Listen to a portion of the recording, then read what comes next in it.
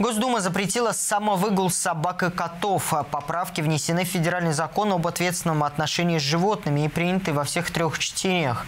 Изменения предполагают, что свободный выгул животных будет разрешен только в специальных местах.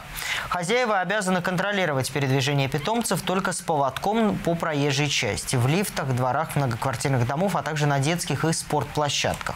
Помимо этого, законопроект позволит регионам самостоятельно определять меры по обращению с бездомными животными. Как отметили в Госдуме, правила не должны противоречить нормам гуманного обращения с питомцами. Новая редакция закона не предполагает отлов бездомных животных калечащими и приводящими к гибели методами, что разрешалось в изначальной версии. Сама масса закона, я согласен и всегда принимал его сторону, но здесь, опять же, несколько факторов. Опять же, выгул в специально отведенных местах.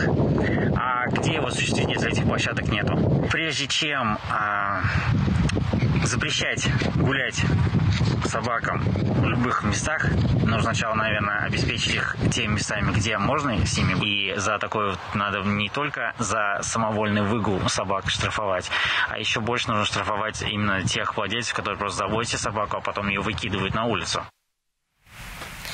Напомню, в начале 2022 года депутаты Забайкальского края внесли в Госдуму проект о безвозвратном отлове животных без хозяев.